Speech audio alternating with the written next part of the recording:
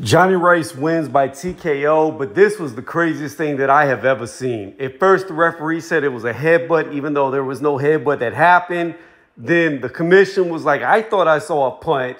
People were complaining that it was a punch. So the referee goes to look at the replay, which isn't even allowed at the venue. But I do like the fact that they ad lib to it to make the review. However, I hate to see a guy lose by a cut, especially after he's winning every single round. But if the fight is going to be stopped due to a cut, then the right guy needs to win, and that was Jonnie Rice. I mean, the fight was horrible. He didn't do anything. That's probably the only punch that he landed in the whole fight in the sixth round, but he gets the win because of it.